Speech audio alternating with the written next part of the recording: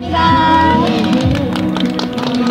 끝까지 잘 지켜주신 분들 정말 정말 너무 감사하고요. 일단 저희 개개인 어, 모르시니까 한 명씩 네, 인사하도록 하겠습니다. 아, 안녕하세요. 저는 레이디베이에서 안눈솔람단 레이디 리더 시온입니다. 만나서 반갑습니다. 안녕하세요. 저는 레이디베이에서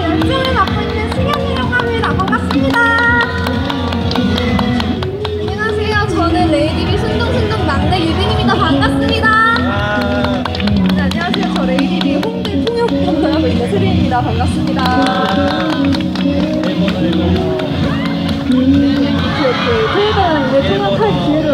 죄송합니다. 네, 이제 밝은 곡으로 준비했는데요. 아이고, 네. 네, 즐겁게 관람하고 가실게요. 당황을 했습니다, 제가. 당황하셨어요. 어, 여러분들 행복해지라고. 행복으로 노래를 준비했습니다. 네, 아쉬운 분이 있으시면 네, 함께 따라오시고 해피닝 여기 이제 마지막에 다 같이 해피닝 해주시면 정말 정말 감사하겠습니다.